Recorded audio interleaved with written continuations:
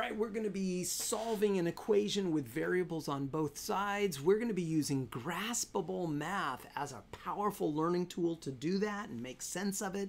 The neat thing about graspable math is it uh, it helps students really focus on the algebra and, and really the rules of algebra and uh, it's a great learning tool. Plus it makes it super fun to substitute our value uh, back into the original equation to make sure we got it right. So uh, let's just get started with graspable math. And, and so we're going to start with this uh, equation 12 times the quantity 5 plus 2x is equal to 4x minus 3 uh, minus the quantity 3 minus 13x. Now, the neat thing about graspable math is if I want to break a rule, so I, by the way, I'm at graspablemath.com. So if I want to break the rule and somehow want to simplify this 13, uh, 3 minus 13x. The way I would try and simplify it is I would click on that operator and if I could simplify it, they would be simplified. But um, it's shaking its head. Look at that. It's going, nope, nope, you are not allowed to do that.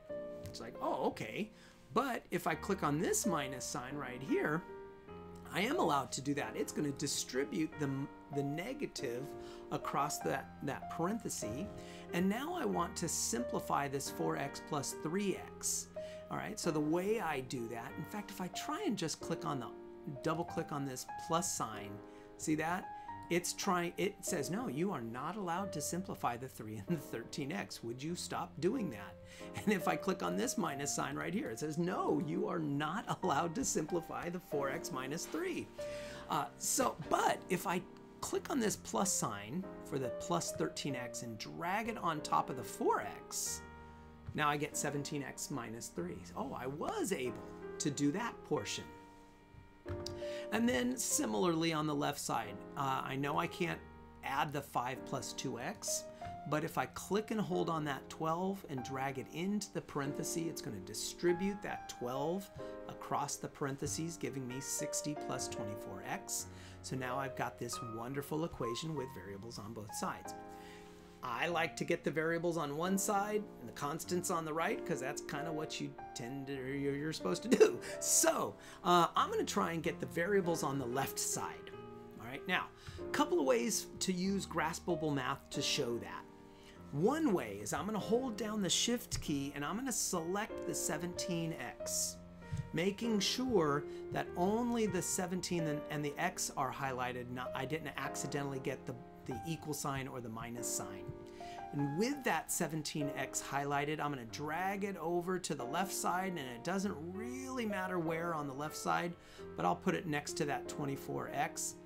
And look at that, I get the minus 17. So I'm going to undo that, let you see that again. I'm going to hold down the shift key, select the 17x, and as I move it over, you'll notice it's a there's that little ghosting positive 17x. But as I move it over, watch what happens. It and let go, it becomes negative 17x. Now, if you're a teacher who does not like that kind of interface, that's okay. I got another option for you. So going back to that step right there, I'm going to click and hold on the equal sign and I get a keyboard down below that pops up. It says, what do you want to do to the equation? That's E stands for the equation. Well, what I want to do is I want to subtract 17x from both sides. And then I click the enter key and look at that. It puts a 17 a minus 17x on both sides of that equation. On the right side, I just click on that minus sign for that minus 17x and I put it on top of the 17x and that simplifies it and makes it go away.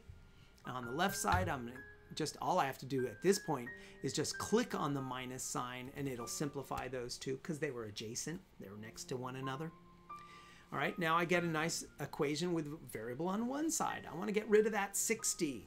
So two ways to do it. First way, I'm going to hold down the shift key, select the 60, and move it across the, the equal sign it starts out as a positive 60, but when I move it to the right side and let go, it becomes a minus 60. If you're a teacher who does not like that kind of interface, I'm going to undo that. And I'm going to click and hold on my equal sign it pulls up the keyboard editor and I'm going to subtract 60 from both sides of the equation. I'm going to click done.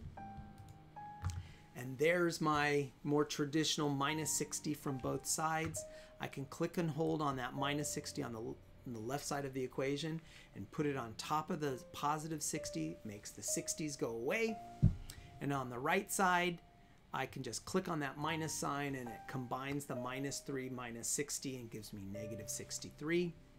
Now, again, two ways to show my next step. Either I can click and hold on that times by 7 and drag it across and it becomes divide by 7. And if you don't like that interface, that's okay. I got an option for you. We're going to click and hold on the equal sign and then I'm just going to do divide by 7. So it's going to divide both sides of the equation by 7. And then all I have to do is click the division symbols to simplify both sides, and I get x is equal to negative 9. All right, so I'm going to click and hold on this bottom circle and close everything up all the way back to the original equation. Now remember, uh, I don't know if I said that in this video yet, but as I mouse over this first equation, notice that circle shows up. All right, so whenever I mouse over it, there's that circle. I'm gonna click and hold on that circle and I'm gonna drag it way over. It really doesn't matter where I drag it to. What that does is it makes an exact copy of that original equation of that circle that I, I clicked and dragged on.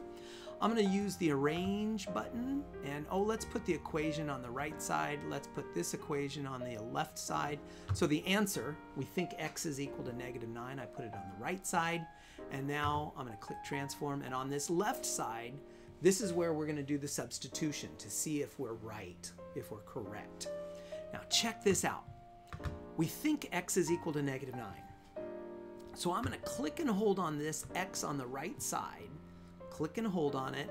And as I mouse over, I'm clicking and holding. I'm not, I haven't let go of my mouse yet. But as I mouse over each of the X's, it highlights, doesn't it? And so I, uh, it doesn't matter which X I, I highlight, but when I let go, all of the X's are going to be are going to be replaced by negative nine. Look at that. That is just so stinking cool. All right, and now it's just a matter of clicking through the operations following uh, the order of operations. Please excuse my dear Aunt Sally, knowing that multiply generally comes before division, although there's always exceptions. That's why PEMDAS doesn't really work, and, uh, and this is the power of graspable math. So now students don't have to dread trying to check their work but making an arithmetic error, because graspable math is going to take care of that. So all the student has to know is the order of operations. What am I supposed to do? Uh, for example, I'm going to zoom in here. If I click on this minus sign trying to subtract 3 minus 13, before doing the multiplication, it's going to shake its head and it's going to say, no, you are not allowed to do that. Oh yeah, I need to click on this multiplication to do the multiplication first. And then I'll simplify this 3 minus uh, negative 117. I wonder what happens if I can just click and put it on top. Oh, it factored out. I didn't I don't like that. It factored out a 3. So what I'll do is I'm just going to click on the minus sign. It converts it to a plus. Click on the plus, it adds those together. And now I got 4 times negative 9 minus 120. If I click on that minus sign, it's going to say, no, you're not allowed to do that. You got to take care of the multiplication first, then you can do the subtraction. And so now the right side of that equation is equal to negative 156. I can click on that circle and drag it up to kind of hide all of that other work. And now I can really start focusing on the left side. The left side, I'm going to begin by working on the parentheses inside. I'm going to click the multiplication, which gives me negative 18. I'm going to click that plus sign, which gives me minus 18. I'm going to click that minus and it gives me, it combines that 5 minus 18 and gives me negative 13. And then I'm going to click the multiplication, and look at that. Negative 156 is equal to negative 156, which means that negative 9 was correct. And that's it, folks. Graspable math, unbelievably powerful, and it helps students focus on what's important. It helps them focus on the algebra and the algebraic steps so that they don't have to be quite so concerned and freaked out about making arithmetic errors on their journey towards understanding algebra.